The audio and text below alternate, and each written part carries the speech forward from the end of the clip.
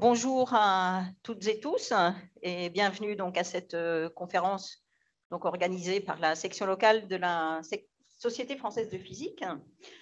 Donc euh, aujourd'hui, nous avons le plaisir de recevoir Lucia Renning.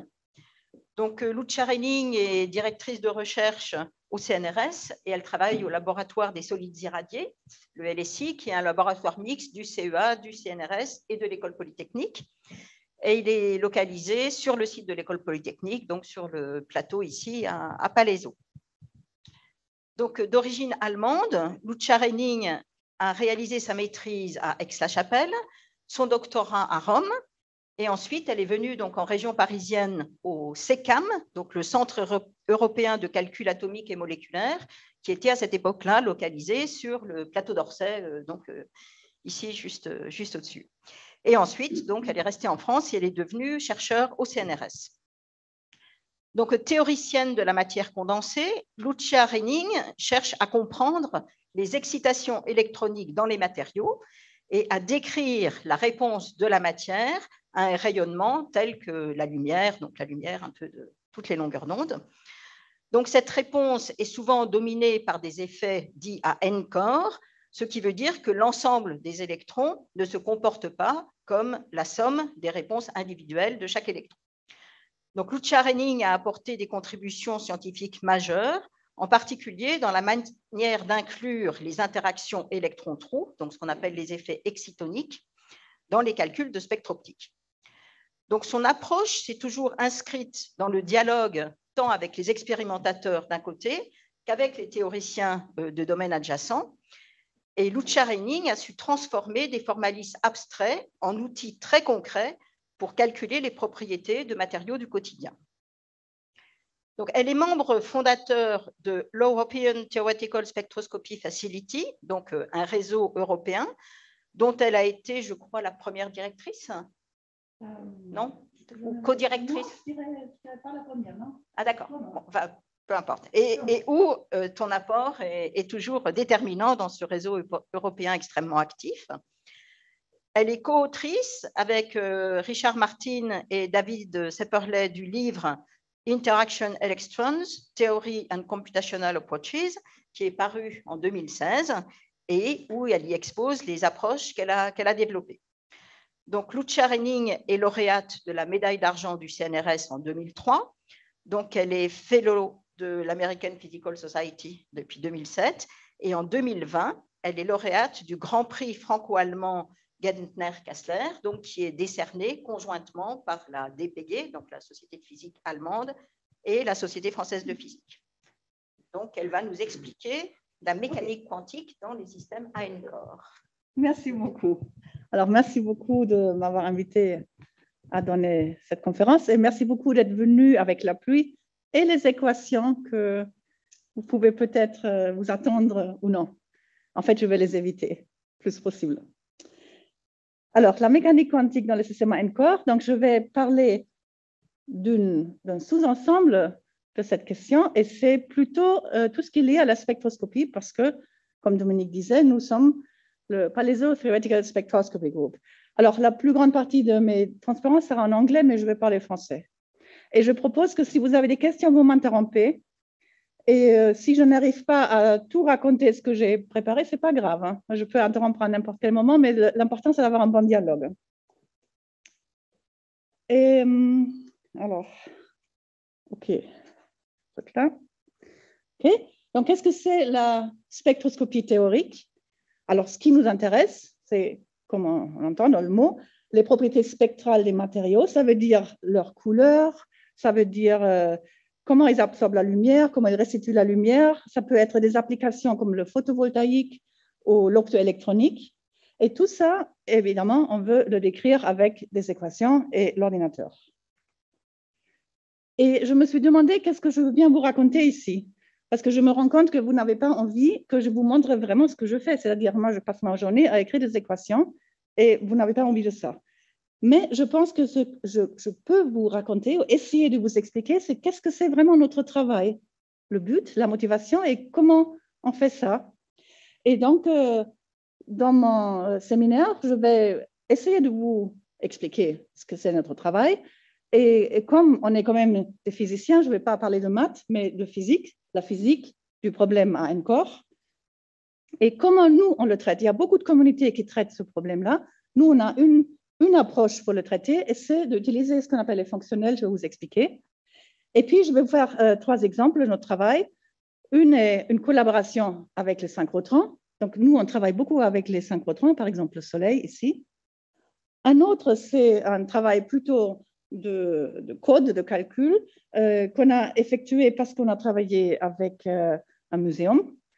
Et euh, dernier, c'est un travail conceptuel qu'on développe en ce moment. Et si j'ai le temps, je vais vous expliquer qu'est-ce que c'est. Donc, notre travail. Alors, notre travail se base sur cette équation-là. Ça, c'est l'équation de Schrödinger à n corps. Donc, vous avez H, l'hamiltonien, c'est l'opérateur qui euh, a les informations sur le matériau et l'énergie cinétique qui est très générale, l'interaction coulombienne qui est très générale, mais aussi euh, exactement les informations sur le matériau si on parle que des électrons. Et puis, la solution, c'est une fonction d'onde et une énergie. Et euh, vous pouvez dire, mais vous n'êtes pas théoricienne parce que l'équation est connue. En fait, ce n'est pas nous qui avons trouvé l'équation. Et il peut y avoir des gens qui trouvent qu'on ne sert à rien parce que l'équation est donnée et puis la résoudre, c'est un peu une technique. Donc, euh, ce n'est plus intéressant.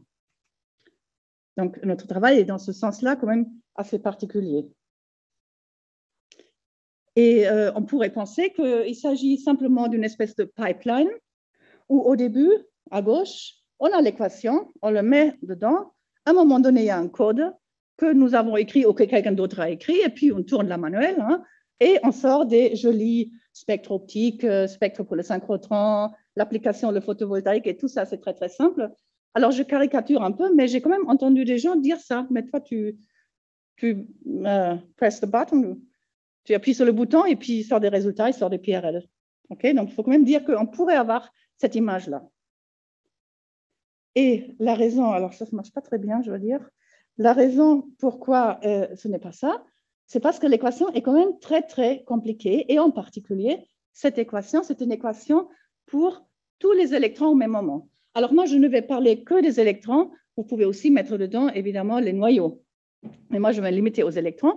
Donc, on a n électrons avec une position du premier électron, la position du deuxième électron, la position du troisième électron, x1, x2, etc. Et ça fait n fois les trois coordonnées dans les trois directions. Et puis, euh, on a toutes les combinaisons possibles. Donc, c'est clair que ce problème, ça explose. Et donc, bien que l'équation soit donnée, ou on pense qu'elle soit donnée, euh, la résoudre est impossible, sauf si on a très peu d'électrons, et ça veut dire 2, 3, 4. et en plus, même si on pouvait la résoudre, la fonction d'onde contient tellement d'informations qu'on ne pourrait le stocker nulle part. Donc, on ne peut pas le résoudre, et même si on pouvait, on ne pourrait pas traiter l'information qu'il y a dedans. Et ça, c'est le problème quantique à un corps. Mais comme je disais, on est quand même des physiciens. On ne va pas se limiter à ça. Et on va voir quel genre de physique est caché dans cette équation-là et quel genre de physique on voudrait en extraire. Et donc, euh, il faut quelque part, dans ce qu'on fait, euh, le, retrouver. Alors, supposons qu'on a une molécule comme H2, donc deux noyaux d'hydrogène, et disons un électron. OK? Alors, euh, on peut faire quantum, mais on peut faire d'abord euh, classique. Donc, on pense que chacun des deux noyaux, il fait un potentiel attractif, hein, c'est colombien, c'est attractif pour les électrons. Et puis, si on a une charge classique, un électron négatif classique, disons, il va être soit à droite, soit à gauche. On va le faire tomber à droite ou à gauche. Et donc, dans la physique classique, on va dire il est là ou il est là. Dans la physique quantique, ce n'est pas le cas. Euh, on va dire qu'un électron est dans un état. Et cet état, pour ce problème-là, ça peut être un état symétrique ou antisymétrique. Mais en tout cas, euh, comme cet état, cette fonction d'onde que j'ai ici illustrée, euh, si on prend son carré, c'est dans les deux cas la même chose. Hein. Il y a une moitié à droite et une moitié à gauche, et c'est une probabilité pour l'électron d'être quelque part. Donc, il a la même probabilité d'être à droite et à gauche. Et ça, ça fait clairement une énorme différence. Supposons que vous faites la spectroscopie. Par exemple, vous faites quelque chose comme une photoémission inverse, c'est-à-dire si vous ajoutez encore un électron. Donc l'électron, qui est ma boule jaune, il arrive et il peut tomber soit du côté où il y a l'autre, soit du côté où il n'y a pas l'autre. Alors, s'il tombe du côté où il n'y a pas l'autre, il va avoir un pic dans le spectre que j'ai dessiné ici à relativement basse énergie. Et s'il tombe de l'autre côté, il va rencontrer l'autre électron, il va avoir une répulsion électronique et donc l'énergie va être plus haute. Donc, ce que je vais mesurer, c'est deux pics dans le spectre. Mais si j'interprète cette probabilité de façon classique, je vais dire, bon, j'ai un demi-électron à droite, un demi-électron à gauche, et donc je vais trouver un seul pic qui est au milieu. Et ça, au fond, ça résout beaucoup de nos problèmes. Parce que nous, quand on fait des approximations, comme on va plus tard, très souvent, on traite un peu la chose comme une moyenne. Et là, on va trouver justement un pic au milieu au lieu de trouver les deux pics que va trouver l'expérimentateur. Donc ça, c'est l'aspect quantum. Donc ça veut dire qu'il faut toujours demander what if? Alors, qu'est-ce qui se passe si? Qu'est-ce qui se passe si le premier électron est à gauche et le deuxième, il est aussi à gauche? Qu'est-ce qui se passe si le premier est à droite mais le deuxième est à gauche? Je dois, d'une certaine façon, écrire toutes les possibles histoires de ce système-là. C'est ça que je vais retrouver dans mon résultat expérimental. Donc, au lieu de faire des, moyennes, je dois écrire les histoires qui sont possibles. C'est ça la mécanique quantique. Et ça, c'est très important. Par exemple, si vous avez deux atomes sphériques, ils ne vont pas se parler. Mais comme il y a toutes les possibles histoires, on peut aussi appeler ça des fluctuations quantiques, à un moment donné, vous pouvez dire, bah, si euh, sur euh, l'atome à gauche, il y a un petit euh, déséquilibre de la densité électronique, va faire un petit dipôle, ah ben, l'autre atome, il va réagir, va faire un dipôle aussi, et ça va être attractif. Et ça, en fait, c'est ce qu'on appelle l'attraction Van der Waals. C'est une attraction faible qui existe. Faible, mais très important. Par exemple, quand vous avez des protéines, c'est très important de savoir la géométrie des protéines.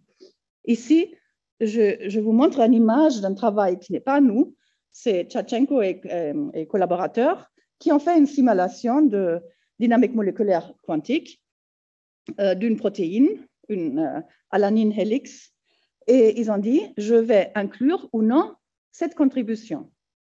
Alors, l'avantage du calcul, c'est évidemment qu'on peut inclure ou exclure des contributions. Donc, cette contribution de, ces petites fluctuations qui se parlent, qu'on a uniquement au niveau quantique, elle est incluse à gauche et pas à droite.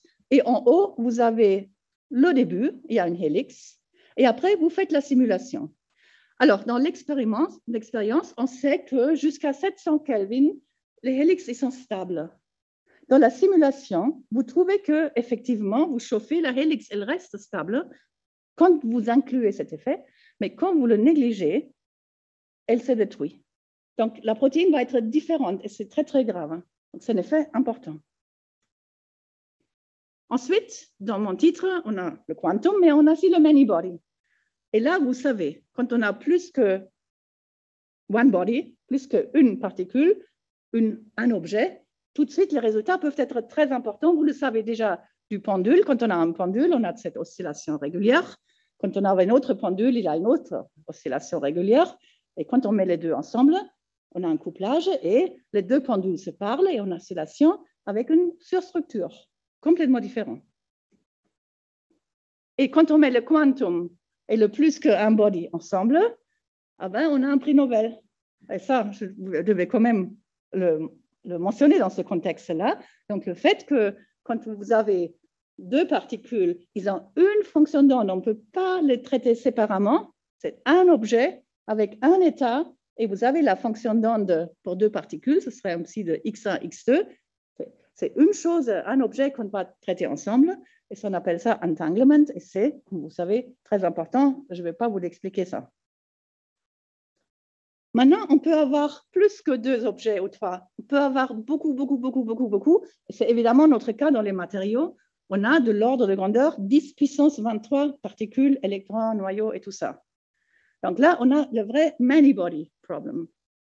Et là, parce que quand on en a beaucoup, beaucoup, beaucoup, ils commencent à se mettre d'accord. Par exemple, si vous avez un système avec un potentiel complètement plat et vous avez des électrons dedans, on appelle ça Gelium homogeneous electron gas, uniform electron gas, donc le gaz d'électrons homogène. et vous résoudre, vous, vous, mettez avec crayon papier et vous cherchez la solution de ce problème. C'est ça que vous allez trouver. Vous allez trouver évidemment une densité complètement plate parce qu'il n'y a aucune raison qu'elle ne respecte pas la symétrie de votre Hamiltonien qui est complètement plat. Quand vous le mettez dans l'ordinateur, et ça c'est un calcul par David Seppele, c'est un calcul quantum Monte Carlo, ça veut dire que un calcul qui traite la fonction d'onde et qui essaye de trouver une bonne approximation pour la fonction d'onde, disons, vous voyez que vous trouvez un cristal. C'est un cristal de Wigner. non Donc, c'est un système ici en deux dimensions, homogène, à basse densité. Il a tendance à former un cristal. Alors, c'est intéressant parce que comment c'est possible? Et en plus, si vous faites le calcul demain, vous le refaites, exactement le même calcul, vous n'allez pas trouver le même résultat. Vous allez trouver le même cristal, mais peut-être tourné, déplacé. La seule chose qui reste, c'est la façon dont les électrons veulent, être arrangés, ce, même cristal, la distance, la périodicité. D'accord? Donc, il y a des objets qui se mettent d'accord entre eux, c'est la corrélation, et après, il suffit un petit bruit, une petite, une petite euh, impureté dans votre calcul, et alors, hop, le truc va se figer et il va vous montrer que c'est un cristal. Et d'ailleurs, même l'existence même des cristaux que vous connaissez, c'est le même effet. Parce que vous pouvez penser qu'un cristal, vous pouvez penser que vous avez une espèce complètement vide, un espace grand espace vide, et vous, vous jetez dedans les noyaux et les électrons. Donc là, de nouveau, les noyaux ils sont quantiques aussi, hein, et, et, donc votre espace est complètement plat. Et normalement, vous devrez trouver quelque chose qui est complètement homogène. Maintenant, vous trouvez un cristal. Et ça, de nouveau, c'est parce que quelque part, il y a une petite chose qui, qui dit que ça brise la symétrie et hop, le cristal va se former. Donc, c'est ce qu'on appelle une brisure spontanée de symétrie. C'est clairement un effet quantique à un corps. OK, revenons à notre travail donc. Toutes ces merveilles, on peut les inclure, on peut les trouver. Donc, on a dit, le problème, c'est que l'équation, elle est tellement compliquée, et je l'ai mis à gauche, là, en jaune, donc tellement compliquée, elle ne rentre pas dans ma pipeline. Je n'arrive pas à la traiter, elle n'arrive pas jusqu'au code. Hein. Donc, pour faire quelque chose, évidemment, on va faire, euh, comment on appelle ça en français? OK. Vous voyez quand vous mettez l'eau et ça... Entonnoir, merci beaucoup. OK. On mettre un entonnoir. Et qu'est-ce que ça veut dire? Alors, cet entonnoir, ça veut dire qu'on va réécrire l'équation. D'accord? On va la réécrire parce que, vous savez, quand vous avez une équation, il y a plein de façons de la réécrire. Et on va le réécrire, euh, ce qui ne va pas dire qu'on fait des approximations à ce point-là. On va simplement le réécrire tel qu'on on peut en principe la traiter. Et cette réécriture va comporter des objets qu'on ne connaît pas. En fait, je vous ai mis là des symboles que vous ne connaissez pas encore, des objets qu'on ne connaît pas, qu'on ne sait pas calculer, euh, qu'on sait juste définir. Et donc, euh, on va voir comment on va faire ça. Alors, une observation qui est très importante. En fait, on ne veut pas résoudre cette équation. Soyons honnêtes. Parce que si vous résolvez l'équation à n corps, l'équation de Schrödinger à n corps, vous avez la réponse à toutes les questions possibles. Et vous n'avez jamais toutes les questions possibles. Vous avez certaines questions. Il y a certaines propriétés qui vous intéressent. Donc, il faut réécrire les choses de façon telle que vous pouvez trouver la réponse à vos questions. Et je pense que c'est essentiel. Donc, certaines questions, certaines propriétés, on va appeler ça des observables parce que c'est des choses que typiquement on peut mesurer. Les observables, si vous vous rappelez votre cours de mécanique quantique, c'est simplement l'intégrale de la fonction d'onde avec l'opérateur qui représente l'observable. Par exemple, euh, quelque chose, un dipôle, si c'est l'absorption de la lumière, ça peut être euh, l'opérateur densité, si vous, voulez connaître la densité. Mais en tout cas, c'est un intégral. Et vous voyez, de nouveau, cette formule est très, très simple. Elle est bien connue. Et donc, euh, votre observable, elle dépend, a priori, de cette fonction d'onde à plusieurs corps. Et donc, nous, on dit c'est une fonctionnelle de la fonction d'onde parce que simplement, elle dépend de cette fonction qui est une fonction et pas simplement un scalaire. OK. Donc, une équation qui est générale, qui est très bien connue, mais que nous ne pouvons pas utiliser. OK Quelle sera l'alternative? Il y a beaucoup d'alternatives. Il faut dire qu'il n'y a pas que nous dans ce monde. Il y a des gens qui travaillent avec la fonction d'onde. Il y a les chimistes quantiques, par exemple. Quand vous êtes intéressé à très peu de particules, à petites choses, vous êtes chimiste quantique, vous pouvez très bien essayer de faire une approximation pour cette fonction d'onde, prendre en compte euh, quelques contributions essentielles. Ça s'appelle configuration interaction. Ou bien, vous faites du Monte Carlo quantique. Vous pouvez dire, moi, au fond, euh, je veux la fonction d'onde qui minimise l'énergie, parce que tout système veut toujours minimiser son énergie. Ça va me donner une bonne approximation. D'accord? Donc ça, c'est toutes des approches qui ont évidemment leur raison d'être ce n'est pas la voie que nous prenons, parce que pour les choses dans, lesquelles nous sommes intéressés, ce n'est pas, disons, euh, le, mieux euh, qu'on puisse faire. OK? Donc, quand on regarde cette expression-là, on voit que c'est un intégral, ça veut dire qu'il y a beaucoup de détails qui vont partir. Hein. Quand vous faites un intégral, à la fin, il sort juste un numéro. Il y a beaucoup de détails qui ont été perdus dans cet intégral-là. Donc, vous pouvez penser, peut-être qu'on n'a pas besoin de tous ces détails-là. Peut-être, pour décrire mon observable, pour l'information dont j'ai besoin, elle peut être beaucoup plus simple. Par exemple, je peux penser, mais au fond, est-ce que j'ai vraiment besoin de cette fonction d'onde Est-ce que ça ne suffit pas de savoir où sont les atomes? Et je pourrais en déduire ma propriété. Et d'ailleurs, petite parenthèse, vous voyez que les gens qui font maintenant machine learning, intelligence artificielle, ils essayent directement de trouver la relation entre, par exemple, la chimie la position des atomes et une propriété, directement. D'accord? Donc, il y a différentes façons de présenter l'information qui va nous donner euh, l'observable. Et donc, on peut se dire, est-ce qu'on a vraiment besoin de cette fonction d'onde? Et donc, on va essayer de trouver une, information de, input qui est plus simple que la fonction d'onde. Et un des choix qui a vraiment déterminé dans notre communauté, c'est la densité électronique. Alors, la théorie de la fonctionnelle de la densité, c'est un autre prix Nobel. Donc, Walter Kohn, en 1998, en chimie d'ailleurs, euh, qui, avec euh, Pierre Hohenberg, a montré qu'au fond, on a juste besoin de connaître la densité électronique. Et de là, on peut avoir plein d'informations sur le système. Évidemment, la densité électronique, c'est un objet beaucoup plus simple que toute la fonction d'onde. Donc, on va essayer de tout reformuler en termes de cet objet beaucoup plus simple.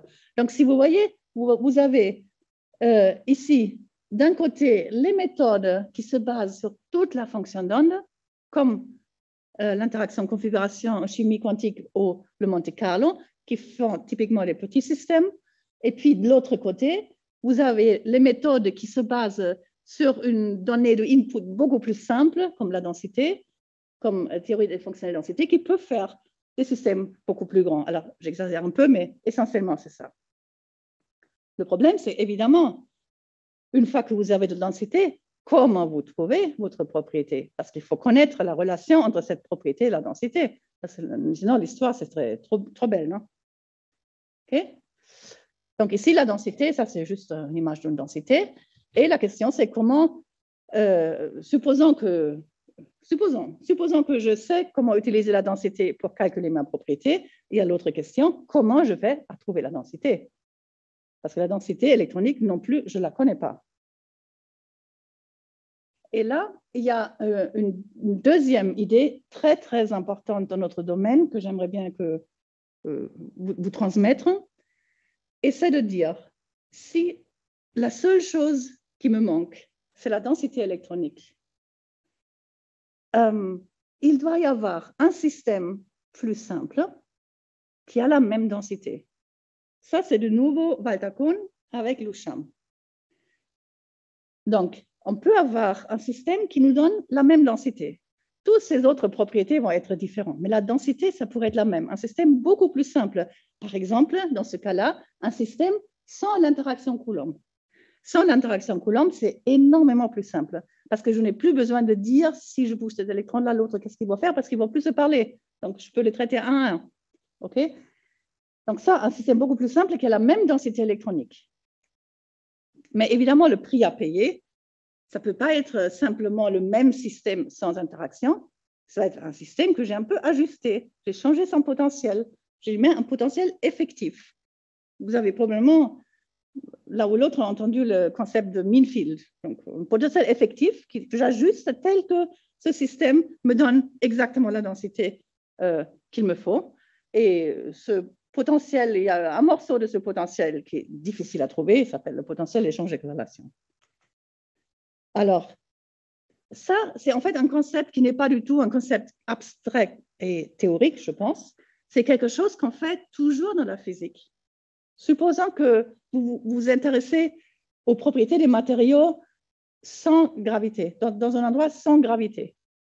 Donc, quel est votre choix? Vous pouvez construire un space shuttle, vous pouvez parler avec Elon Musk, vous pouvez prendre ce truc avec votre matériau, vous faites un très long voyage hein, dans l'espace, vous cherchez un endroit sans gravité, vous faites la mesure, vous revenez, vous avez la réponse à votre question et en passant, vous pouvez aussi répondre à d'autres questions. Par exemple, vous pouvez répondre à la question, est-ce que là-bas, il y a une petite femme verte qui habite? Non? C'est une question qu'on aussi on a de temps en temps donc, vous avez aussi répondu à des questions qui n'étaient pas vraiment votre question de départ. Alors, vous pouvez trouver ça chouette, mais l'effort était énorme. Et l'alternative, hein, c'est de construire, euh, comme je vous montrais là, donc un espace de simulation par terre, qui ne va pas dans l'espace, qui simule la situation de zéro gravité, qui donc vous permet de mesurer votre matériau mais si vous posez la question de la petite femme verte, la réponse va probablement être fausse. Vous ne devriez pas la poser. D'accord? Et ça, c'est un système auxiliaire. Il est fait pour répondre à certaines questions, mais pas à d'autres. Donc, le gain, c'est le système est plus simple, le prix à payer, vous n'avez pas la réponse à d'autres questions. Et c'est d'ailleurs, alors ça, ça vous semble peut-être trivial, mais c'est un grand problème parce que très souvent, les gens essayent d'utiliser le système auxiliaire pour des questions pour lesquelles ils ne sont pas faits et puis, il s'étonne que la réponse n'est pas géniale. OK. Maintenant, ça semble aussi de nouveau beau, mais pour trouver ces potentiels auxiliaires, normalement, on devrait savoir le résultat final. Comme ça, on peut le tuner pour l'obtenir, mais on ne connaît pas le résultat final, sinon on n'aurait pas besoin. Donc, on a encore une fois caché euh, la difficulté. Maintenant, on l'a caché dans ce potentiel. Donc, on réécrit, on réécrit, et à chaque fois, on n'a rien résolu du tout. En fait, on ne va pas le résoudre. On ne va pas résoudre le problème encore. Simplement, on va le réécrire de façon telle qu'après, on puisse faire des approximations. Toute notre réécriture pour trouver un point de départ qui est bien pour faire des approximations pour les propriétés qui nous intéressent. Donc, on va choisir ce que j'appelle un descripteur, c'est-à-dire on va choisir la quantité avec laquelle on décrit le problème, le input, ça va être soit la fonction d'onde, soit la densité, soit autre chose encore, qui nous permet en principe de calculer la propriété qui nous intéresse, parce qu'on connaît la relation entre la propriété et ce input, ce n'est pas vrai toujours. Et ça va nous demander de calculer euh, ce input sur la densité, la fonction d'onde, etc. Maintenant, les propriétés qui nous intéressent, c'est les spectres, les propriétés de spectroscopie. Il s'avère qu'on n'a aucun espoir d'exprimer les spectres en termes de la densité électronique. Je ne dis pas qu'on ne pourra pas le faire un jour. Nous, par exemple, on travaille sur ça. On est des irréductibles optimistes. Je pense qu'on va trouver. Mais pour le moment, on n'a pas ça. Donc, même si on a la densité électronique, on ne, connaît pas cette équation, comment euh, l'observable O dépend de la densité. Donc, on va choisir un autre input qui est un peu un compromis entre euh, la densité et la fonction d'onde. Donc, quand je dis spectre, c'est par exemple le spectre de photoémission. La photoémission, elle est euh, schématisée tout à gauche. Vous avez la lumière qui arrive, ça peut être par exemple les rayons X. Euh, vous arrachez un électron de votre échantillon, vous l'éjectez, il est mesuré au détecteur. Le détecteur, il va mesurer son énergie cinétique et éventuellement l'angle. Comme ça, vous avez votre émission résolu un angle. Alors, dans une image à particules indépendantes, vous pensez que chaque électron, il porte son énergie. Et donc, dans le spectre au milieu, vous allez mesurer un pic pour chaque électron un angle donné, donc un moment donné, et une énergie donnée. Hmm? Et si vous mettez tous ces pics ensemble, vous avez une structure de bande. Ça, c'est l'image à particules indépendantes. Donc, vous l'avez le détecteur, vous le bougez un peu. Chaque fois que vous le bougez, vous avez un point de la structure de bande et comme ça, vous complétez votre euh, structure de bande. Et pour obtenir ça, donc, pas d'espoir de le faire avec la densité. On a une espèce de compromis entre la densité, qui est très simple, et la fonction d'onde, qui est très compliquée, et ça s'appelle les fonctions de Green. Alors, les fonctions de Green, je vais revenir dans une seconde à ce que c'est, mais disons qu'une fois qu'on l'a, on sait comment calculer un spectre. Hein. C'est simplement la partie imaginaire, donc très simple. Donc maintenant, il faut trouver la fonction de Green. Donc, comme on veut utiliser les systèmes auxiliaires, il faut construire notre système auxiliaire pour trouver la fonction de Green. Et pour faire ça, donc, euh, il faut certainement faire des approximations. Et comme on fait des approximations, euh, il faut aussi après faire des tests. OK. Donc, quelle approximation? Comment construire un système auxiliaire pour les fonctions de Green? Il faut déjà savoir qu'est-ce que c'est. Alors, la fonction de Green a un corps. C'est la probabilité que vous pouvez insérer un électron et le, à un moment donné, dans un endroit donné, avec un spin donné, et le trouver à un autre temps, un autre endroit, un autre spin. Donc, c'est ce qu'on appelle un propagateur. Ça décrit en fait comment un électron se propage dans le système, tout en sachant qu'on peut bien sûr pas le distinguer des autres électrons du système. Donc, en, en deuxième quantisation, c'est l'expression que je vous ai mise pour ceux qui aiment les formules. Donc, on a l'état fondamental à un corps, on a un opérateur de champ où on insère un électron, un autre opérateur de champ où on mesure si l'électron est là dans un autre endroit à un autre temps. OK?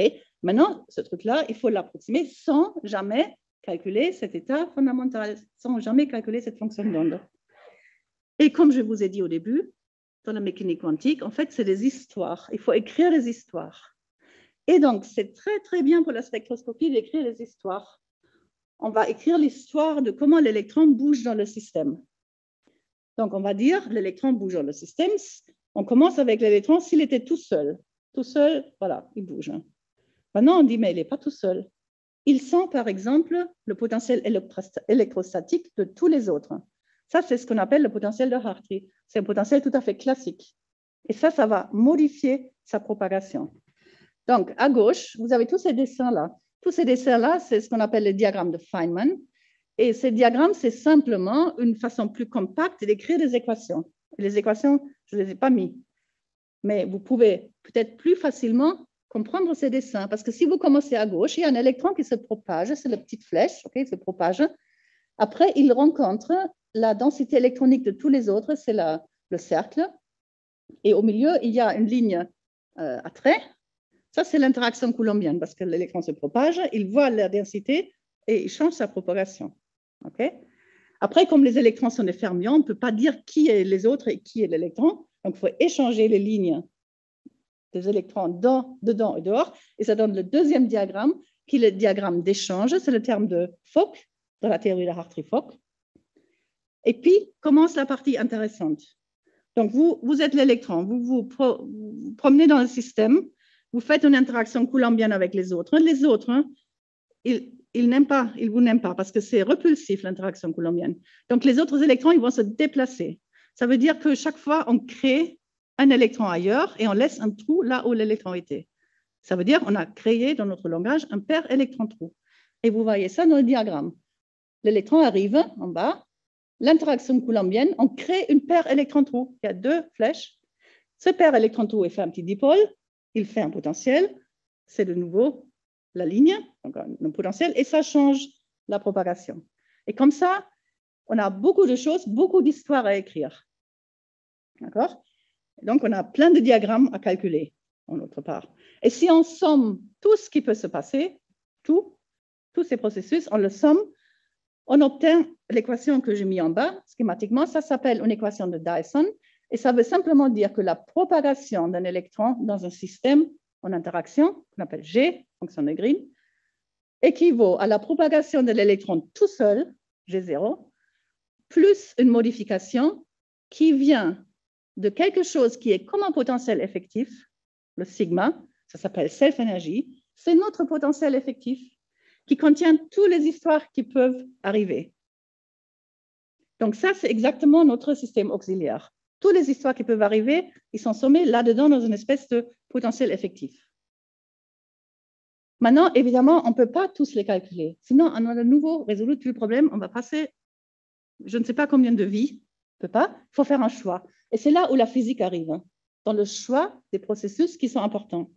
Et donc, par exemple, dans les matériaux que nous traitons d'habitude, comme c'est des matériaux en volume, il y a beaucoup d'électrons, l'écrantage, donc ce processus que je vous ai décrit, où la propagation, il va polariser le matériau, il va repousser les autres, qui vont d'une certaine façon écranter cette propagation, cet écrantage, ça c'est très important. Donc c'est la première chose qu'on va tenir en compte après euh, le terme euh, Hartig et Et quand on fait ça, donc on, on écrante l'interaction coulombienne, on appelle ça W, et c'est pour ça que l'approximation qu'on obtient s'appelle GW, et c'est Larsedine qui a formalisé ça en 1965. Et donc, tous ces termes de polarisation qu'on va sommer. Et même aujourd'hui, c'est encore, je dirais, le gold standard hein, dans notre domaine. Donc, ça a quand même résisté. Donc, c'est l'interaction coulombienne écrantée. ok? Et comme image, je dirais que dans la Hartree-Fock, euh, quand, vous, quand, vous, êtes un électron qui se propage dans le système en Hartree-Fock, c'est comme si vous étiez euh, sur glace, patiné sur glace. Le système, c'est la glace, il ne répond pas. Vous patinez, vous faites votre chemin. Et quand vous êtes par contre dans un système TW, un peu plus réaliste, c'est comme un bateau sur l'eau. L'eau, il peut réagir, il réagit à, votre chemin et il va modifier votre propagation. Ça, c'est le GW. Et ça donne des très, très bonnes euh, structures de bande, contrairement euh, au Hartree-Fock, qui donne des band gaps trop grands parce qu'il n'y a pas de relaxation. Ça se voit tout de suite. Et euh, contrairement aussi à une mauvaise utilisation du système auxiliaire en DFT. Le, système auxiliaire en DFT, ce potentiel de Concham, il n'est pas censé vous donner cet observable-là. Il est seulement vous donner la densité. Donc, du coup, c'est comme demander la petite femme verte. Et c'est pour ça que vous avez le fameux bandgap problem dont vous avez peut-être entendu parler. OK, maintenant, ce qui nous intéresse, c'est en fait pas le, même pas cette image à, particules indépendantes. Donc, les particules sont en interaction. Donc, c'est clair que ce qu'on veut mesurer, ce n'est pas si simple comme je disais au début. On ne va pas mesurer les pics euh, comme si chaque électron portait son énergie. On va mesurer plutôt euh, des pics qui sont un peu déplacés par l'interaction. Ils sont un peu élargis, toujours par l'interaction, parce qu'une excitation peut euh, décader dans un autre. Et puis, très important, on va mesurer des pics supplémentaires. Et ça, on appelle ça des satellites. Et vous pouvez aussi immédiatement comprendre la physique de ceci. Donc, vous faites la photoémission, vous arrivez avec la lumière, vous prenez l'électron, vous avez donc fait un trou dans le matériau, le matériau n'est pas content, il est perturbé, il va réagir à cette perturbation. C'est comme si vous allez avec un marteau, bam, dessus. Donc, il va peut-être commencer à faire une oscillation, par exemple ce qu'on appelle un plasmon, quand il y a oscillation collective des électrons. Cette oscillation, elle va garder de l'énergie, elle, prend de l'énergie. Donc, ça veut dire que l'électron qui sort, il va avoir moins d'énergie. Et donc, ça veut dire que vous allez trouver justement une structure à plus basse énergie à votre détecteur. Ça, c'est les satellites. Donc, relativement facile à comprendre d'où ça vient, très difficile à décrire. Il s'avère que ce n'était pas possible d'écrire ça de façon euh, convenable avec cette approche euh, euh, GW et que c'était très difficile d'ajouter d'autres processus pour faire mieux dans notre système auxiliaire. Et donc, on a une collaboration avec euh, pas mal de gens qui ont contribué. Je pense qu'il y en a d'autres encore. Donc, en particulier Matteo et Matteo et Giovanna et Pina, Francesco, Sky, Josh et John. Et on, on s'est attaqué à ce problème-là. Et donc, on a changé le système auxiliaire. On est allé dans une autre euh, disons, environnement que l'équation de Dyson. Donc, dans ce cas-là, c'est plutôt un potentiel, disons, une correction exponentielle à la fonction de Green. Pour ceux qui connaissent, ça se lie à la cumulant expansion. Donc, on a un peu changé notre réécriture. Et avec ça, euh, on a dû évidemment tester. Et par exemple, euh, euh, on a deux, deux, possibilités de tester. Soit on a des modèles simples qu'on peut résoudre analytiquement et on peut tester là, soit on teste avec l'expérience. Nous avons la grande chance d'avoir pas mal de collaborateurs expérimentateurs qui acceptent de remesurer des systèmes simples pour nous. Et ce n'est pas évident, parce que comme vous mesurez le silicium et l'alu, vous ne faites pas de nature. Hein. D'accord? Donc, euh, par contre, si vous voulez tester une théorie, il faut un système simple, sinon vous ne comprenez rien. Donc, je suis vraiment très, très reconnaissante. Donc, on fait là un test avec l'expérience. Ça, c'est justement la photoémission de l'alu, l'aluminium en volume. Et donc, je veux souligner donc, euh, les expérimentateurs Alessandro Nicolao, euh, ensuite Ajdin Benounan, Kari Rotsalainen et Matthias Mundwiller, euh, puis Vladimir Strokov et Fausto Zirotti. Okay. Ça, c'est la Swiss Light Source. Donc, ça, c'est l'expérience. Euh, photoémission sur, sur la Lune, vous avez en horizontal le moment et en vertical l'énergie. Et puis, vous avez la couleur, c'est l'intensité du spectre. Tout en haut, en rouge, vous voyez, vous voyez ça, c'est la structure de bande de l'aluminium. Donc, c'est très intense. Mais après, il y a plein d'autres choses. Donc, ça, tout ce que vous voyez en plus, ça va au-delà de l'image à particules indépendantes. Et en particulier, vous voyez une réplica de la structure de bande. Et après, vous, vous en voyez une deuxième. Et ça, c'est les satellites. Donc, ça, c'est les satellites. Et en plus, ils ont une distance du plasmon de l'aluminium. Donc, c'est vraiment l'excitation de plasmon de l'aluminium parce que vous avez fait la, la émission. Et donc, euh, là, on est au niveau test. Donc, maintenant, tout à gauche, il y a la théorie. Et vous voyez qu'on a la même structure de bande, ça c'est assez standard, et on a aussi les réplicas. Donc, on peut dire, oui, on est content, semble pas trop mal la théorie, ou bien vous pouvez dire, mais c'est pas vert, c'est bleu. D'accord? Donc, il faut encore expliquer des choses. Et là, on va aussi, et c'est pour ça que j'ai choisi cet exemple, que c'est toujours un dialogue. Donc, on a pris l'expérience, on a testé la théorie, mais après, on essaie aussi de comprendre qu'est-ce qu'il y a dans l'expérience. Est-ce qu'il y a quelque chose dans l'expérience en plus de ce qu'on aurait pensé? Et en fait, dans ce cas-là, on a appris beaucoup de choses qu'on a ensuite mis dans la théorie. Et en fait, en particulier, même si on était à 35 Kelvin, il y a encore un grand effet de la température sur le spectre. Et en plus, il y a le fait que on a parlé là uniquement de l'excitation primaire, donc vous faites un trou et le système s'excite, mais après, l'électron, il n'est pas tout de suite au détecteur, il doit y aller. Et sur le chemin pour aller au détecteur, il peut faire plein de choses. Il fait plein de scattering, il va traverser la surface, plein de choses. Donc, il faut en tenir compte. Et on a pu, avec la théorie, comprendre à quel point c'est important de l'expérience. Quel est le poids relatif des différents effets. Donc, c'est une espèce de dialogue qui est très important. Donc, euh, vous voyez, il y a le synchrotron. Mais en fait, euh, une des choses que je voulais aussi souligner ici, c'est qu'on a beaucoup d'interfaces. Parce que tout au début, quand on fait nos équations, on a quand même des fois besoin des mathématiciens. Donc, il y a l'interface avec les mathématiques. On a des méthodes et on parle avec d'autres gens qui ont des problèmes similaires. J'ai mentionné plusieurs fois la chimie quantique. Il y a aussi la physique nucléaire. On a des méthodes en commun, on se parle. L'expérience, évidemment, grande interface. Euh, interface aussi avec les gens qui font des modèles et avec des applications technologiques. Euh, on travaille pas mal, par exemple, pour le photovoltaïque. Et tout ça, c'est important pour nous. Ce n'est pas simplement de donner des réponses, c'est aussi de recevoir les questions et recevoir les informations. Donc tout ça, en fait, ce n'est pas simplement un pipeline, c'est un cercle. Et euh, il s'ajoute chaque jour, je dirais, des nouveaux interfaces. Et je pense que pour conclure, je vais juste vous parler de l'interface avec le Muséum d'histoire naturelle et parce que j'appelle ça une quantum video camera. C'est aussi un exemple, je pense, d'un projet où on est parti avec une question, on en a répondu à un autre. C'est assez typique. Alors là, on parle d'absorption. Donc cette fois-ci, on arrive avec la lumière, mais l'électron ne sort pas, il reste dans le système. Et donc du coup, on a l'électron dans le système et son trou aussi dans le système, donc un problème à deux corps. Donc on a deux corps qui se propagent. C'est fonction de Green à deux particules, si vous voulez. Et ça, on a travaillé dessus pendant 25 ans. Et ça, c'est important aussi. C'est quelque chose dans la durée. Un développement, ça ne se fait pas parce que vous avez un petit projet ANR. On, on travaille dessus et ça évolue. Et je pense que c'est vraiment les choses qu'on a fait il y a au moins 20 ans qui maintenant sont appliquées dans des applications genre euh, technologiques.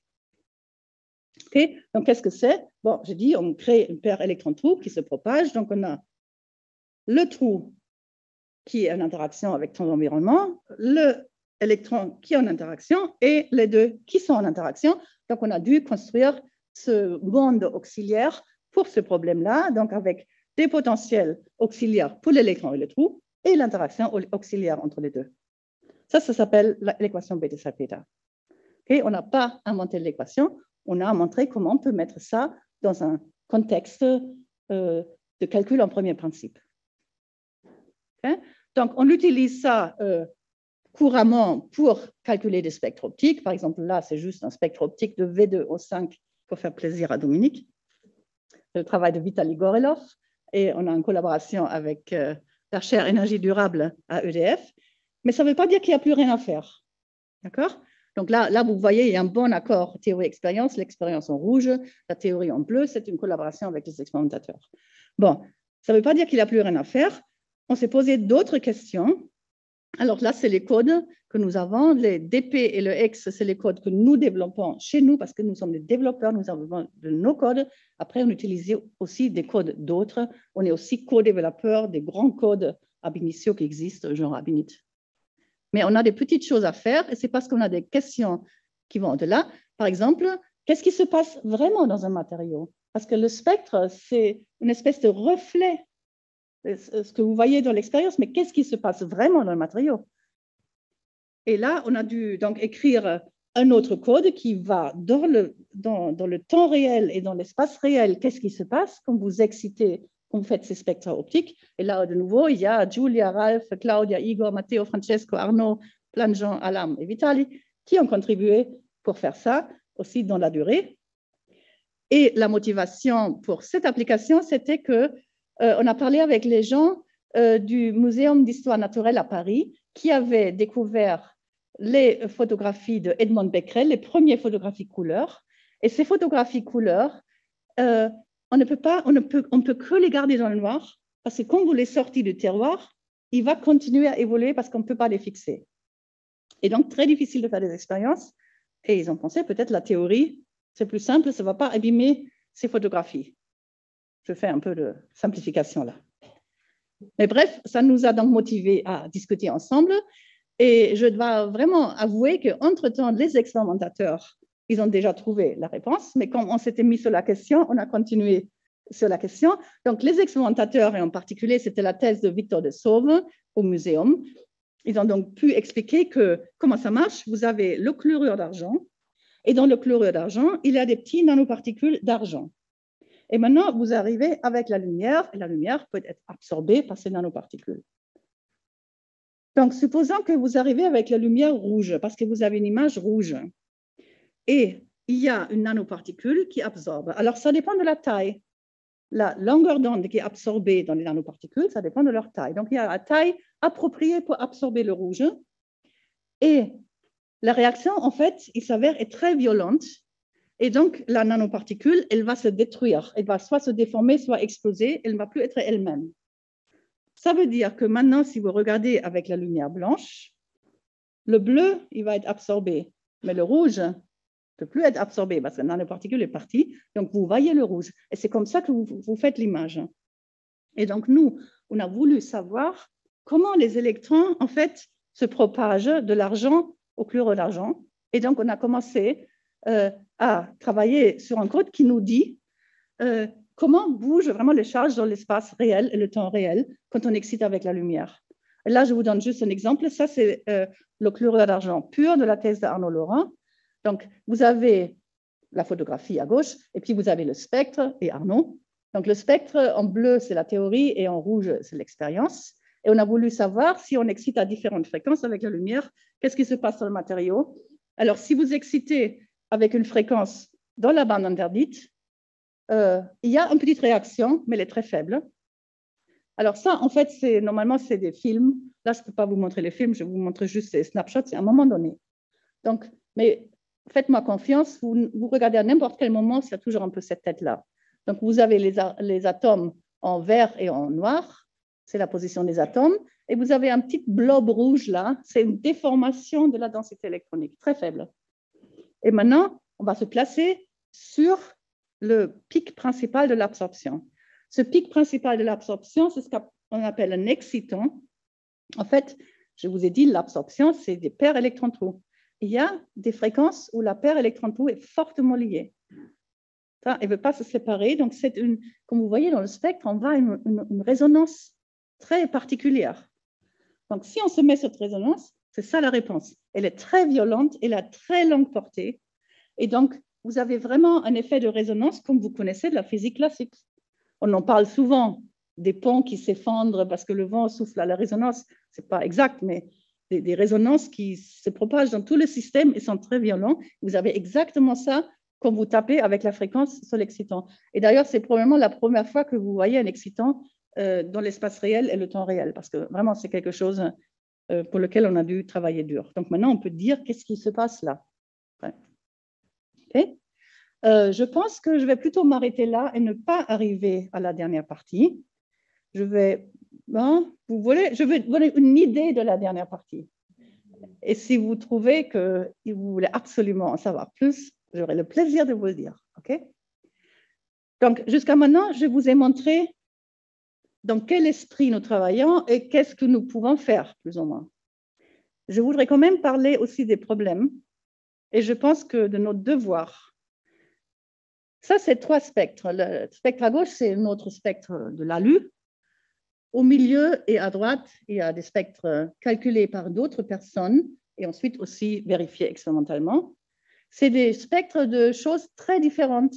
Donc, l'ALU, après, vous avez l'oxyde de titane avec des polarons. Donc, euh, on a un couplage avec le réseau. Et ensuite, vous avez un matériau dopé. Et moi, je dis, il y a quand même une grosse similitude entre ces spectres. Vous avez dans tous les cas, en haut, quelque chose d'intense. C'est essentiellement la structure de bande. On appelle ça la quasi-particule. C'est un peu ce que vous aurez aussi dans une image à particules indépendantes. Vous auriez l'électron qui part avec son énergie.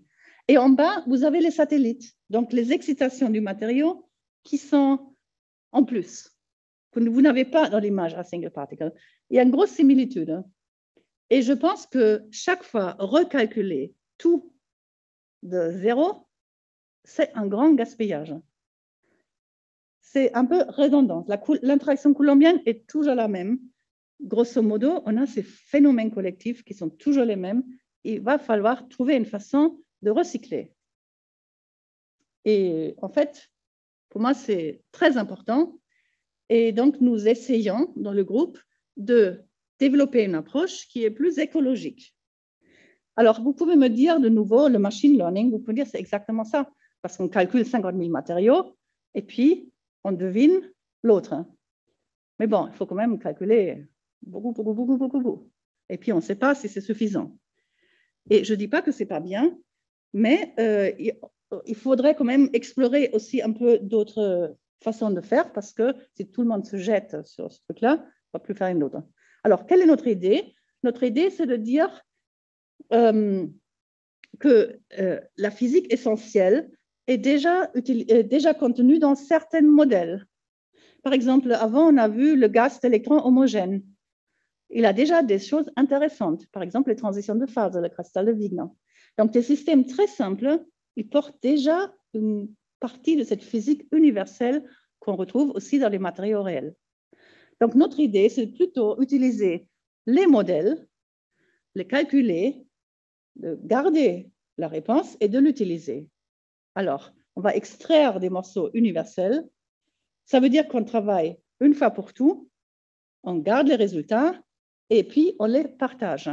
Et ça, évidemment, euh, c'est un peu comme jouer Lego. Quand j'étais petite, le Lego, c'était comme ça, c'est des petits morceaux. Et quand on voulait construire quelque chose de compliqué, c'était du boulot. Et ça, pour moi, c'est comme résoudre l'équation de Schrödinger encore. Parce que maintenant, les Lego, c'est comme ça. Donc, vous avez des morceaux préfabriqués, vous voulez faire un truc compliqué, c'est beaucoup plus simple. Et les spectres, c'est un peu comme ça, non? Il y a la partie bande, il y a la partie satellite et tout ça. Donc, on pourrait penser qu'il y a des morceaux préfabriqués. Et si on arrive à faire ça, c'est plus rapide, on sait du Lego, mais je pense aussi qu'on peut comprendre mieux. Parce que quand vous faites des très grands calculs et vous sortez beaucoup de chiffres, Après, il faut comprendre. Si vous avez compris la chose en termes d'un modèle et on peut juste le transposer, je pense que ça aide aussi la compréhension.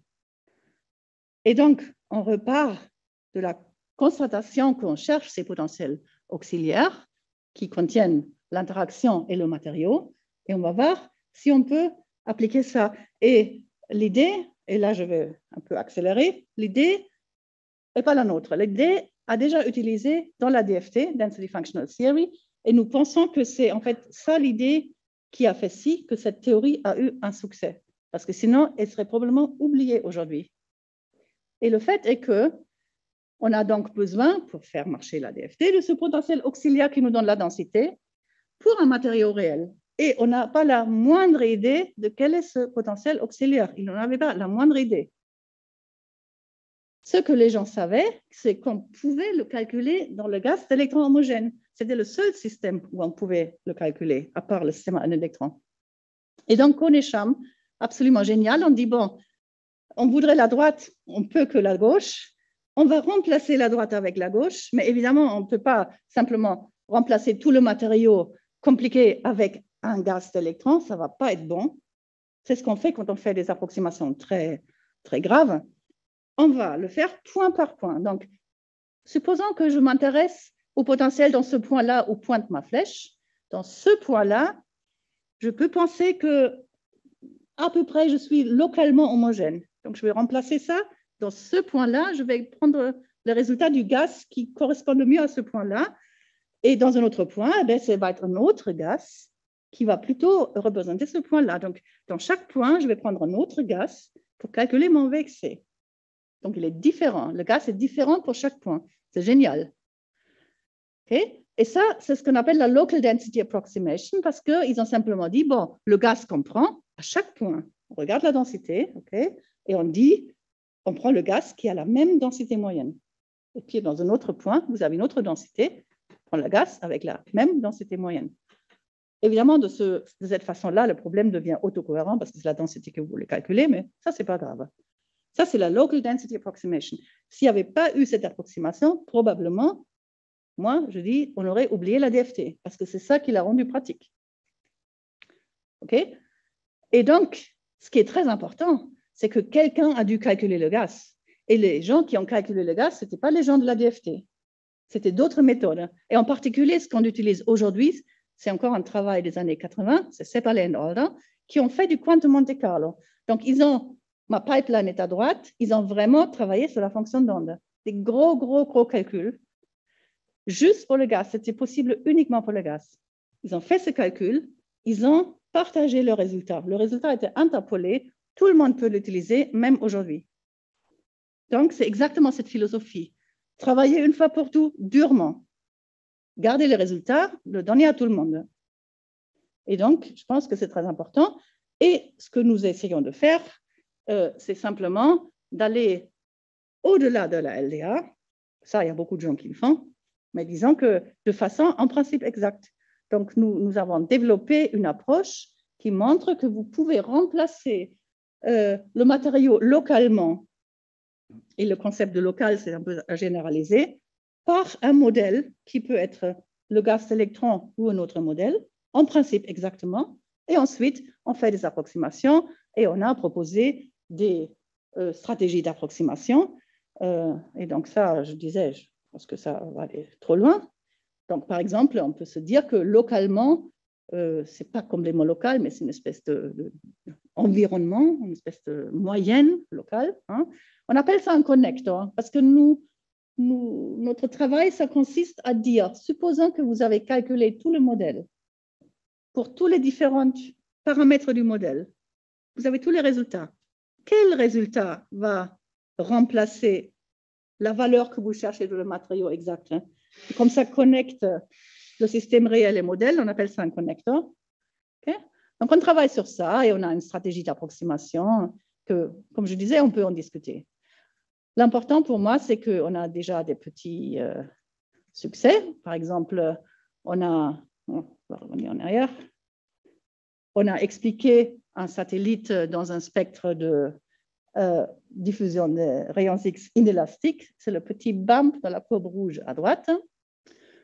On a trouvé qu'on peut faire beaucoup mieux que la LDA pour la DFT. On a une densité de charge qui est à peu près deux fois mieux que la LDA. Et on peut aussi calculer des structures de bande. Euh, en fait, euh, on l'a calculé, à un seul point K et on peut, on peut extrapoler. Donc, on peut faire plein de choses avec ça, mais ça, ce n'est pas l'important. L'important, c'est vraiment cette philosophie de dire, nous nous plaçons dans le modèle. Et ce que nous voulons faire vraiment, c'est des modèles assez complexes, hein, inhomogènes, bien au-delà du gaz d'électrons homogène, qu'on peut, avec les moyens d'aujourd'hui, calculer qu'on peut sauvegarder, qu'on peut interpoler, pourquoi pas avec le machine learning, qu'on peut ensuite partager et de cette façon-là, ne pas recalculer chaque fois tous les effets d'interaction, toute la complexité du problème. D'accord? Et avec ça, je voudrais juste conclure en disant que je pense que c'est important parce que c'est clair que notre futur, c'est de faire attention à ne pas faire du gaspillage. Donc, de travailler une fois et quand on est sûr que c'est bon, de ne pas refaire la même chose, de garder la chose, et aussi les effets collectifs, partager les résultats, très important pour notre futur. Hein. Et ce projet, c'est juste un exemple. Et euh, je voulais quand même vous montrer les têtes. Alors ça, ce n'est pas le groupe. Ce n'est pas pour vous montrer qu'on a un énorme groupe. C'est pour vous montrer les sourires. Ça, c'était une fête qu'on a fait avec le groupe, euh, avec des gens qui étaient dans le groupe depuis 30 ans, je veux dire, qui sont, qui sont partis il y a 30 ans et on est revenu, on s'est retrouvé, on était super contents. Il y a même des enfants, mais que j'ai un peu floué pour être euh, correct. Donc, vous voyez, on, aime beaucoup ça et c'est parce qu'on travaille dans une espèce de pipeline, en interaction avec beaucoup de gens et on se rend compte qu'on a besoin l'un de l'autre. Et si vous êtes intéressé, je vous ai mis notre site web, je vous ai aussi mis un MOOC euh, sur la DFT, qui est quand même la base de ça, si jamais vous voulez apprendre un peu la DFT. C'est un MOOC qui a assez de succès. Et euh, voilà, euh, c'était un peu ma conclusion. Donc, euh, vous rappelez que je n'ai pas promis que je vais vous donner la solution de l'équation de Schrödinger-Einkorn. Je vous ai promis qu'on va la chercher. C'était peut-être même promis trop, on ne va pas vraiment la chercher, on va chercher de décrire des choses qu'on peut observer. Et j'espère que vous avez compris un peu l'esprit dans lequel on travaille, les hypothèses qu'on fait, les efforts qu'on fait. Et merci pour votre attention.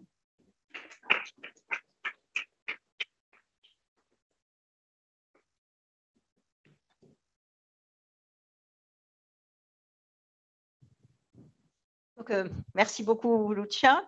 Donc, c'est le temps pour les, questions. Est-ce qu'il y a des questions, soit sur euh, sur Internet ou dans la salle. Cette technique d'explorer point par point de l'homogène et, du complexe avec des modèles très simples, eh, ça marche que pour les, quantités statiques, pour les propriétés d'équilibre. Est-ce que ça fonctionne euh, pour équilibre, pour le transport, etc. Oui, alors il faut évidemment, vous avez raison, le généraliser. Quand je dis point par point, le point dans l'espace réel, c'est juste un exemple. Pour ces problèmes de la DFT, c'est l'espace réel où on a des points. Après, quand on a des propriétés dynamiques, un point, ça peut aussi être une fréquence. Donc, fréquence par fréquence, c'est très important, c'est très vrai. Et d'ailleurs, c'est beaucoup plus difficile, ou ça peut être le temps, ça peut être l'espace réciproque, ça peut être euh, un espace de configuration. Donc, il faut comprendre ça de façon généralisée. Et pour chaque problème, euh, c'est très vrai, il faut d'abord comprendre dans quel espace c'est mieux faire la connexion. Et c'est vrai que euh, l'idée de connexion était basée sur le principe de nearsightedness, c'est-à-dire l'idée que la physique ne va pas très loin. Et c'est clair que nous tous, nous pensons que quand nous calculons notre morceau de alu, nous n'avons pas besoin de calculer Jupiter parce qu'elle est trop loin. Donc nous pensons tous que la physique est nearsighted. La question, c'est combien elle est nearsighted Alors, la LDA, c'est complètement un point. Et donc, si on veut utiliser de tels concepts, il faut d'abord chercher l'espace où on est le plus local, par exemple. Donc, cette, euh, recherche de dans quel espace on va travailler, on va connecter, c'est le premier pas, en fait. Hmm. Sinon, il y a des questions sur... Euh, il y a une question. Une question, Philippe. Réactiver le son, d'accord, ok, ça marche. Oui, bonjour, c'est Philippe Branchier. Oui, euh, je me disais, les, les données expérimentales dont vous disposez, ça semble être euh, essentiellement des spectres, ce qui n'est pas grand-chose finalement. Euh, si vous aviez des, informations plus riches du genre euh, des fonctions de corrélation entre je suis là et je suis à côté, ou bien des évolutions dynamiques ou des choses comme ça, est-ce que ça vous guiderait mieux ou est-ce que ça ferait juste des choses encore plus difficiles à gérer? Non, alors tout d'abord, euh, je vais évidemment défendre mes collègues expérimentaux du synchrotron, des spectres, euh, pour pas dire que c'est pas grand-chose, mais c'est vrai. Mais je dis pas qu'il faut pas grand-chose. oui. oui, oui, Non, non, les fonctions de corrélation, ça nous intéresse beaucoup et je dirais même, c'est peut-être pour nous aussi des spectres. Prenons la fonction de corrélation densité-densité dynamique. Quand je vais dans l'espace des fréquences et je prends sa partie imaginaire, c'est exactement là où je trouve, par exemple, un spectre d'inelastic scattering. Donc, les spectres et les fonctions de corrélation sont intimement liés. Et c'est aussi à nous de faire le lien. Et on a toujours un petit lien à faire entre ce qu'on calcule et ce qu'on mesure. C'est clair.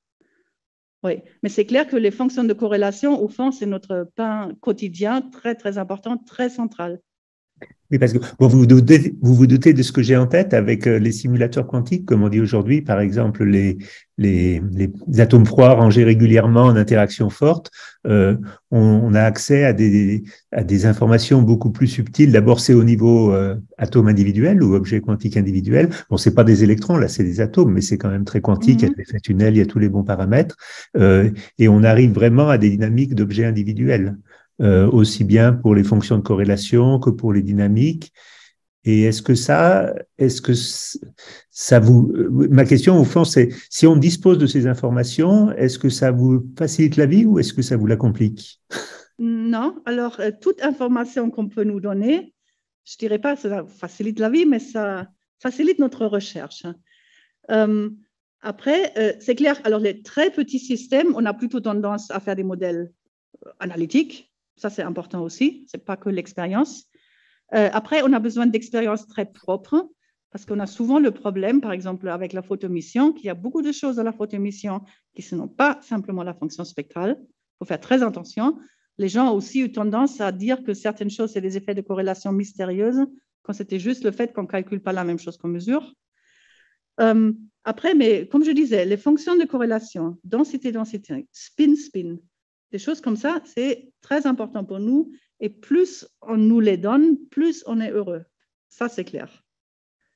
Oui. D'accord. Mais je ne parle pas seulement de petits systèmes, parce qu'avec les atomes, maintenant, je veux dire, on fait des dizaines et puis il y a des, les centaines sont apportées. Oui, oui, Donc c'est peut-être encore très petit pour vous, mais disons que ça commence à être vraiment compliqué, euh, une centaine d'atomes en interaction forte. Non, c'est très vrai. Et je pense d'ailleurs, on devrait beaucoup plus se parler avec les atomes froids, parce que c'est clair qu'on a la même physique, on a les mêmes effets d'interaction. Non, c'est le même problème. C'est juste le bâtiment à côté, vous savez. Euh, je sais, je sais. Mais comme, comme j'ai déjà montré plein d'interfaces, et je jure, ce n'était pas bidon, on, se parle. Euh, oui. D'accord. Euh, je suppose qu'on va avoir occasion. Oui, j'ai oui, aussi une question générale, un peu plus générale peut-être j'ai l'impression qu'il y a beaucoup de devinettes dans ce que vous faites, dans, dans, la façon dont vous choisissez vos approximations, etc.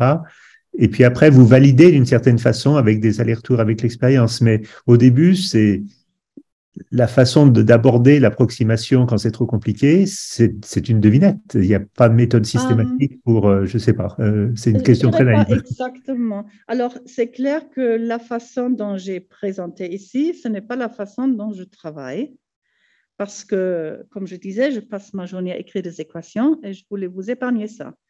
Alors, on fait beaucoup de choses, euh, à commencer par la théorie des perturbations, qu'on sait, il y a une certaine rigueur mathématique quand même.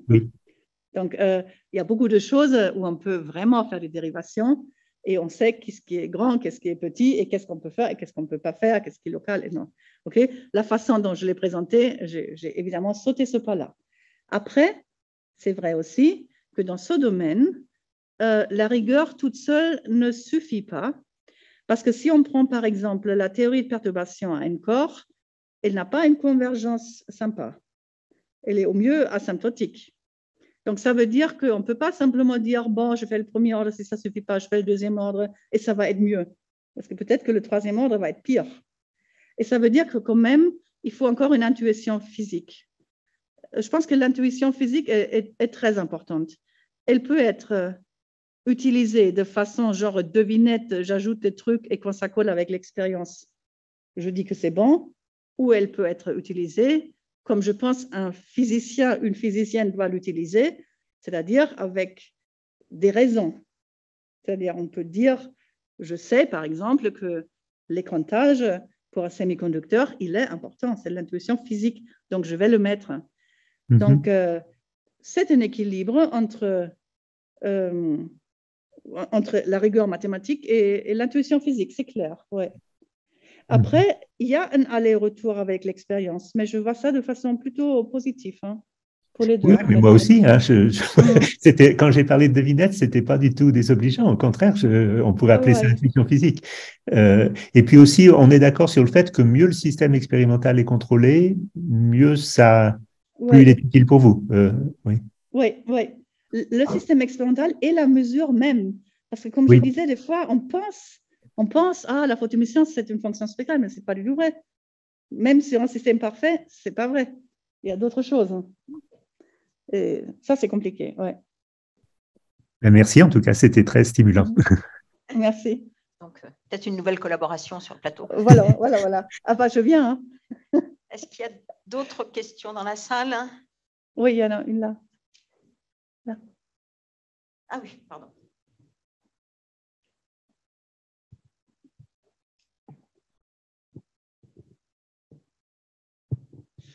Très bien. Euh, bonjour, merci pour la présentation. J'ai une question concernant un diaporama où il y avait un t égale 0,00 fs. Est-ce que c'était une erreur ou c'était un oubli volontaire? Savez, le moment où il y avait la mesure de la bande, on est en arrière, vous allez voir qu'il y avait un t égale 0,0. Alors, où est-ce que c'était à peu près? On est encore avant. C'était une mesure de quoi hein? Une bande euh, violette. Une bande violette. Alors, je pense qu'il est un peu distant le diaporama, donc il faudra vraiment y aller. Ok. Vous me bloquez, hein? Là. Il est passé? Il est passé. OK.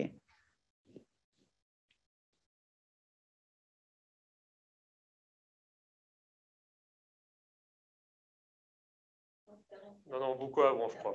Ah, Mais euh, si vous me dites plus ou moins de quoi ça parle.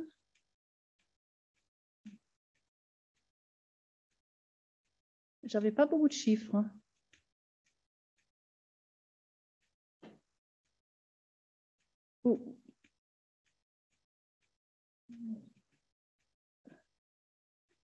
C'était un spectre expérimental. C'était un graphe, et puis à un moment donné où il y avait la, bande, violette pour la mesure du, du gap, et à un moment donné, il y avait un t égale 0,00 fs. Et ça, je n'ai pas compris pourquoi 0,00 fs. Il y a la bande interdite en violette, c'est peut-être en rouge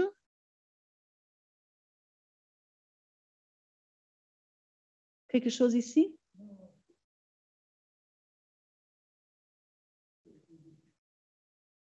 Pas ici. Non. OK, alors l'absorption. Ici? Plus loin. Ici. Ah, je suis curieuse. Bientôt. Ici. Ah, c'est ici. ah, ah, ah, ok, ok. Comme je dis, c'est un, une photographie instantanée d'un film. D'accord? Et en fait, normalement, ça court le, compteur, c'est en femtosecondes, et sur le film, on voit comment le système évolue en femtosecondes. D'accord, donc c'est-à-dire qu'on se positionne à t égale 0,0 fs et on trouve ça. Alors, euh, oui, mais le zéro ici, ce n'est pas à zéro. Ce n'est pas le moment où on met la perturbation. Hein. D'accord. Ça, c'est le moment où on prend la photographie. Alors, dans ce cas-là, en fait, c'est une perturbation qui dure longtemps. D'accord, mais en fait, ce qui est perturbé, c'est pourquoi c'était 000, par exemple, pas 001, par exemple. Ah, ok, ok. Non, non, ça, euh, je n'en ai pas parlé. Euh, ça, c'est simplement. Alors, là, le temps ne veut rien dire, c'est le moment où on prend la photographie. ok? Si on veut savoir comment ce temps lie à, au moment où on a mis la perturbation, c'est ça que vous voulez savoir en fait. Combien de femtosecondes c'est après la perturbation. D'accord? Et alors, dans ce cas-là, juste pour cette illustration-là, on a mis, pour avoir une perturbation avec une fréquence donnée, on a dû mettre quelque chose qui est très large dans le temps, qui continue. La, perturbation continue. Non? Si on a quelque chose qui est localisé en fréquence, il est étalé dans le temps. Oui, mais c'était juste euh, la manière de noter donc, qui, paraît un peu, qui paraît un peu étrange euh, de marquer 000. Oui, oui, oui, j'aurais pu éliminer cette remarque-là. Ouais. Mais voilà, c'était pour la, remarque. D'accord, d'accord, d'accord. Merci beaucoup pour la Voilà, donc, il y a... Louis, tu as encore une question? Oui, c'est moi qui ai posé la Oui, à un moment, tu as parlé de relations possibles avec la physique nucléaire. Oui, alors par euh, exemple. c'est, quand même, ça, ça, change un peu de, de paradigme là. Mais... Oui, euh, donc euh, on a des collègues qui utilisent par exemple beaucoup les fonctions de Green et on a des problèmes similaires de comment choisir le diagramme, comment bâtir ces systèmes auxiliaires. Alors, peut-être s'il y a des collègues qui écoutent la physique nucléaire, ils ne vont pas du tout appeler ça un, système euh, auxiliaire, mais disons une équation de Dyson. Euh, qu'est-ce qu'il faut mettre dedans? On a des problèmes très similaires et donc, à plusieurs occasions, on s'est rencontrés pour discuter, pour voir si l'un ou l'autre a développé des choses qu'on peut utiliser. Et il faut quand même dire que même, par exemple, euh, à Saclay, après, c'est international, hein, ce n'est pas que les gens de Saclay, mais ici, c'est à Saclay. Et euh, la même chose est vraie euh, pour l'histoire de la théorie de la fonctionnelle densité dépendante du temps. Il y a aussi là, mais là, ce n'est pas local français, mais il y a eu beaucoup de, savoir-faire qui viennent de la physique nucléaire. Et même des gens qui ont migré entre les deux domaines. Oui question, c'est juste une petite remarque à l'attention de Louis, que même à IGC il y a des gens qui travaillent avec des fonctions de Green. Non, je sais, je sais. Je sais mais euh, vous n'avez pas. Euh, ouais. Moi, je parle relativement régulièrement avec les gens qui, qui travaillent sur les atomes froids, mais j'avoue que je n'ai pas encore beaucoup parlé avec des physiciens de matière mm. de, de solide. Voilà. Peter Schuck était quelque part dans le coin elle est décédée malheureusement. Oui, je sais, je voulais le mentionner parce que c'est quelqu'un qui était très ouvert au dialogue, avec lequel, on a beaucoup échangé. Et, je pense que c'était quelqu'un de vraiment formidable.